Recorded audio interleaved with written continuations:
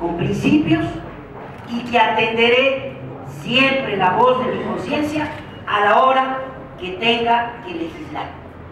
Vivimos en un país democrático, plural, diverso.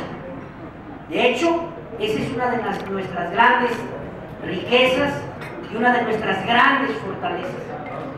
Somos un país de más de 110 millones de seres humanos y es imposible que todos pensemos igual. Y qué bueno que existen diversidades de opinión en torno de todos los temas.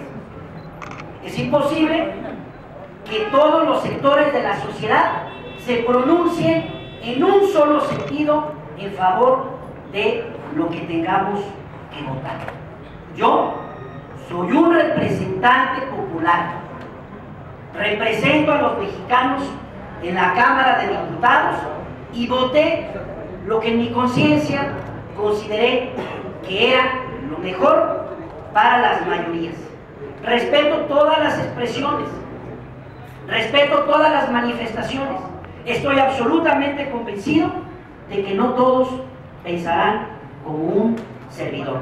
Pero yo siempre defenderé lo que voto atendiendo a que lo hago en beneficio de las mayorías. Ninguna ley es perfecta. Por una sola razón. Lo que hoy legislamos nos puede servir para el día de hoy. Dentro de cuatro, cinco y diez años, esa ley quedará rebasada por la realidad. A mí no me tienda la mano. Yo voy a votar en favor de las reformas que considero que este país necesita. Ya voté por la reforma laboral, votaré por la reforma energética, votaré por la reforma educativa, votaré por la reforma fiscal. Y me parece que muchas de las voces que se han levantado disidentes a la Ley Federal de Trabajo que acabamos de votar, lo digo con todo respeto, lo hacen desde la desinformación. ¿Saben ustedes que lo que nosotros votamos no es una reforma constitucional? No le metimos mano al 123 constitucional. Votamos una reforma que modifica la Ley Federal del Trabajo. Porque la iniciativa preferente que nos envió el Ejecutivo Federal no era susceptible de afectar el 123 constitucional. Por ahí unos maestros se manifestaron en mi casa de enlace en Jiquilpa, que es la casa que tengo al servicio de la comunidad, interrajeándola, arrebatándole de manera eh, violenta los celulares en los que estaban tomando fotos mis colaboradores, amenazando a mis colaboradoras a no dejarla salir, con hechos eh, no solamente de vandalismo, sino de violencia.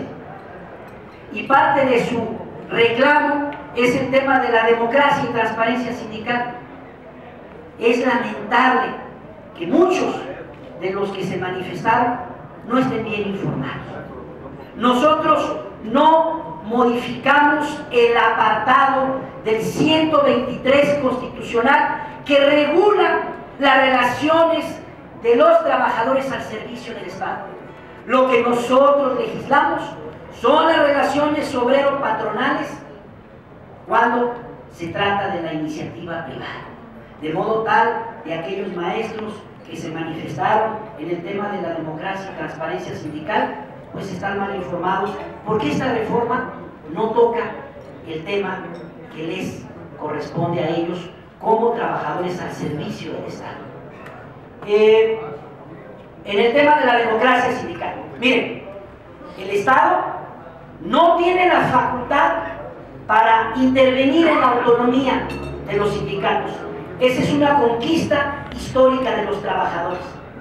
Los sindicatos tienen el derecho pleno establecido en el 123 de la Constitución de elegir como mejor convenga de acuerdo a su máximo órgano de gobierno, que es la Asamblea, cómo van a decidir quiénes serán sus dirigentes.